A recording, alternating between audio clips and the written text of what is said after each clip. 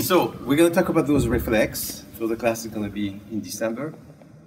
It's amazing because a lot of group uh, study them, and it has been studied, you know, for a long time. Maybe around the 70s, they realized that the uh, the fact that some a kid will retain some reflex will uh, have a lot of incidence on their reading abilities, dyslexia, balance, uh, hand-eye coordination, uh, athletic skills, uh, cognition. Everything is connected. You're going to see all those reflexes have a physical, an emotional, and even a mental state. You have a mood, you have a posture with it. You have also some decision you, you took or some type of mood is very connected. So really the, the, the, the motor uh, organization will organize your sentence, your reading, your thoughts, and your emotions. And they're connected. And have an adult like that, and I was looking at her and I say, did you have problem reading when you grew up? And I hated reading. Why? Do you have any idea why? Just looking at her, I said that. No, no, just it. Look, look. She looked pretty straight at me. She has her side, her face a little bit on the side, but more specifically, she looked basically on one side of the face at me. So she is quite unilateral. And this is in reference to a reflex called ATNR. Oh. You've heard of this reflex? Yes. So asymmetric tonic neck reflex, oh, right? You know that. Yeah. But it's very interesting because the kid is learning laterality. He doesn't cross too much yet, but he goes on one side of his body. This doesn't function too much. And he's gonna look with one eye, hear with one eye, this is the reading part, yeah. and expose tactile, sun, wind, everything is gonna be one side of the body. Auditive, visual, and the proprioceptor would be just one side, and I really explore all this side. And I look at the words with all this side.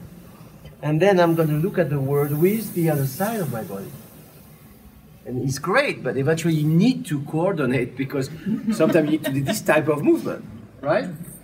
And the fact is, if you hear uh, for reading, you need to really have a good inner sense, a good auditory too. You know, when reading is very, it's very connected.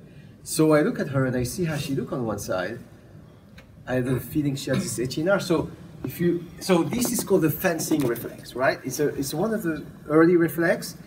And when the kid look to the left, he extend his whole side, you know, toward the left, head, arm, and legs. This to be more flex. And once you go on the other side, it's going to go on the other side. And she's an adult, and she's you are kind of athletic, or yeah, uh, she's athletic, very well integrated. She just doesn't know that if she keeps this re- reflex, she retain it. A lot of sophisticated resp- motor response don't happen the way she wants the cognition is not perfect as far as she can go. She's not totally in her Einstein perfect mode yet. And she's really smart, I'm sure. And her mood also cannot totally mature the way she wants on some aspect of your life. And so if she had this reflex, put your feet together, we will see something like this. Look how she turned. She flick and she turns this, this, this, this arm. If you put your arm, yeah, put your arm, put your forearm. She barely do it, but she still, look, she move her body yeah. and she want to extend. I even imagine if she was a little bit more, less integrated, she will even turn her hand. She will go like this a little bit. She wants to. She start to do the, the, the, um, the, the, the movement like this, right? And if you are okay to go on all four on the table, you're gonna see even a little bit more of that. Some people, you know, it's kind of a position for other reflex, but it's so easy to see this reflex. When I turn her head on this side, let's see what happened to that elbow there. You see the bending? Extension and flexion. Can you see the flexion she has? Boom. You see the flexion?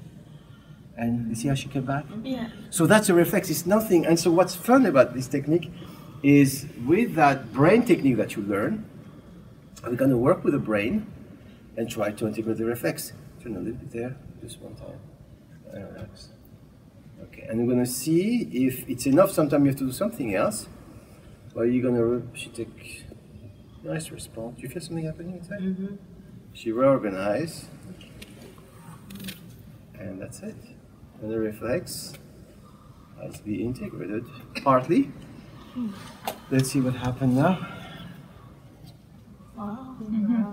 You see, she barely, she moves it. It's not perfect.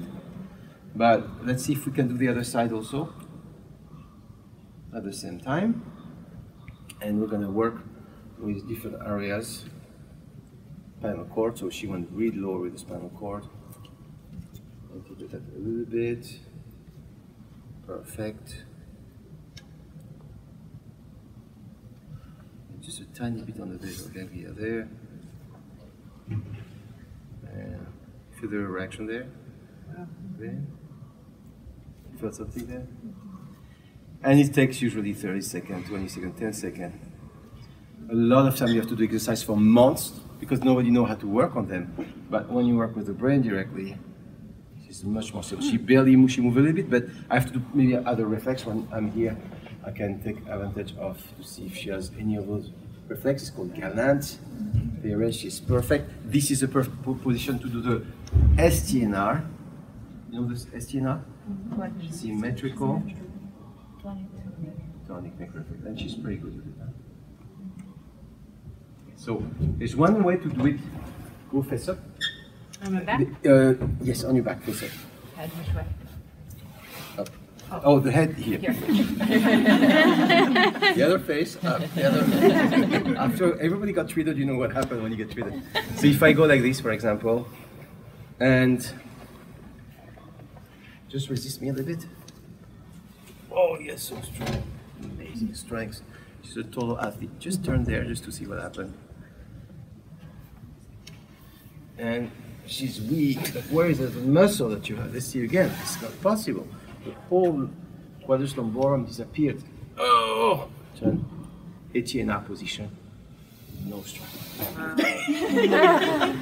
so, I mean, it's better because I treated a little bit, but with that, ex- I'm gonna be able to work on her a little bit more specifically.